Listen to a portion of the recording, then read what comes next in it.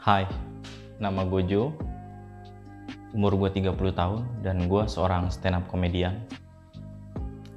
Seperti pada stand up komedian umumnya, kegiatan gue ya open mic, manggung di berbagai daerah, nginep di hotel, jalan-jalan, pokoknya banyak lah. Enak banget gitu jadi stand up komedian. Mungkin kalian gak bakalan ngerasain yang namanya nggak diatur sama bos ya kan? Terus kalian juga bebas tuh jam kerjanya. Paling enak udah jadi stand up komedian.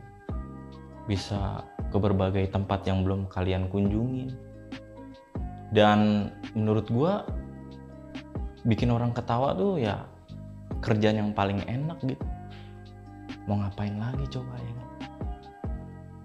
Udah enak banget jalan-jalan nginep di hotel ditemenin wanita cantik ya.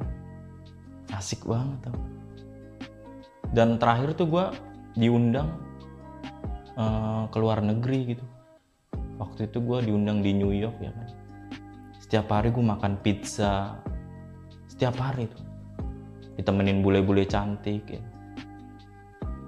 Pokoknya enak banget di sana. Jujur gue waktu kecil nggak ada basic stand up komedian gue cenderung introvert ya kan. Bahkan sering dibully. Gue tuh dulu pernah dibully gara-gara apa? Gara-gara muka gue hitam. Ini saking hitamnya ya kan. Gue pernah main petak umpet. Sampai sekarang belum ketemu. Iya. Belum ketemu. Sampai ada yang nempel poster orang hilang ya kan. Gara-gara itu gue disangka ilusionis tau nggak? Iya. Disangka ilusionis lah disangka apa namanya makhluk gaib banyak lah kok tapi gara-gara kemampuan gue ini gue tuh jadi susah dapat pacar gitu. Kenapa gue susah dapat pacar? Kan setiap kali gue pacaran pacar gue selalu bilang gitu katanya. Dia sering banget di ghosting gitu. Dan gue nggak masalah dengan soal itu gitu. Yang jadi masalah adalah karir gue ke depannya gitu.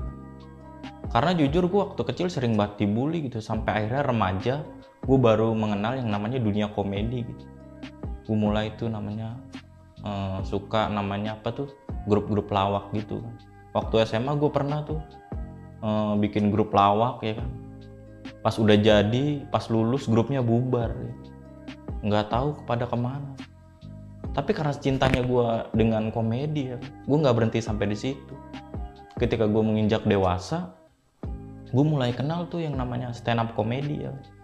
Gue mulai ikut-ikut komunitas belajar gitu.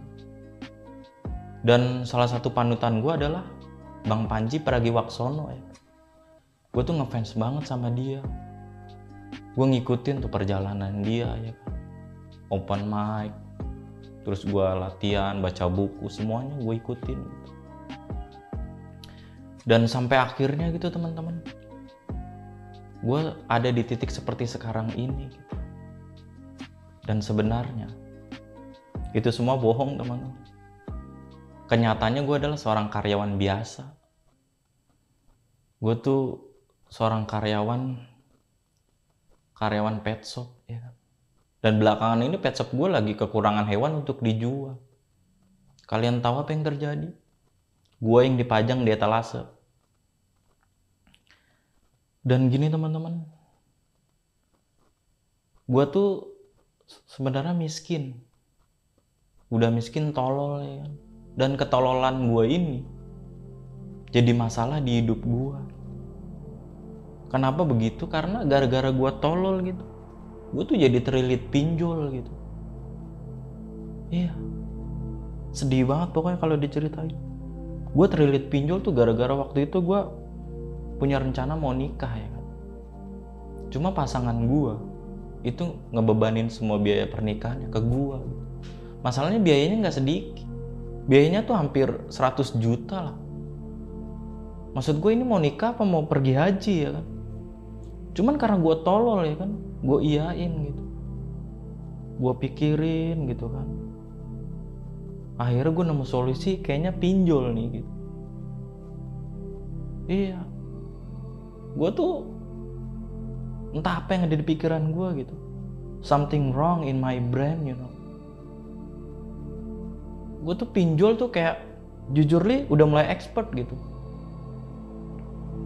gue udah mulai expert di bidang perpinjolan.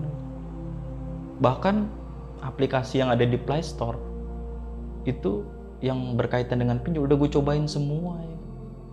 mulai dari yang tenor 12 bulan sampai tenor satu hari. Lu bayangin satu hari. Ini mah bukan pinjol ya kan? Ini mah numpang naro dompet ya kan? Tapi gara-gara itu teman-teman gue sebenarnya introvert gitu. Gue nggak pernah cerita ke siapa pun sampai akhirnya gue mau cerita ke teman gue gitu. Namanya Adit. Gue bilang ke Adit gitu Dit gue lagi ada masalah nih. Terus dia jawab masalah apa Jo? Gue terlilit pinjol. Waduh materi bagus tuh Jo. Malah jadi materi loh dan gara-gara hal itu gue sempat kepikiran gitu apa gue bikin show aja ya? Akhirnya bener tuh gue bikin show. Judulnya titik terendah ya. jadi show gue ini tujuannya ya buat ngelunasin hutang gitu. dan buat yang belum tahu show titik terendah nih terbagi menjadi tiga kelas ya. Kan ada kelas rich middle class dan poor. Bedanya apa mas? Bedanya kalau kelas rich, kalian dapat kursi sama minum. Terus kalau middle class, middle class dapat kursi doang. Kalau pur, pur nggak dapat kursi, nggak dapat minum. Duduknya di lantai. Dan kenapa gue bagi kelas ya karena gue pengen tahu aja gitu. Penonton gue berdasarkan kasta. Kasta tertinggi rich, kasta terendah pur gitu. Jadi nanti gue bakal tahu gitu. Penonton gue tuh banyakan yang kaya apa yang miskin gitu kalau misalkan banyak yang beli tiket risk, berarti penonton gue kaya semua ya. Tapi kalau misalkan yang beli pur, lebih banyak yang beli pur gitu. Emang miskin semua pendukung gue ya kan. Udah miskin solid kita. Aduh. Ya gitulah teman-teman. Mungkin segitu aja dari gue. Jangan lupa tanggal 3 Juli 2022 titik terendah di X Ciputat. Sampai ketemu lagi. Dadah.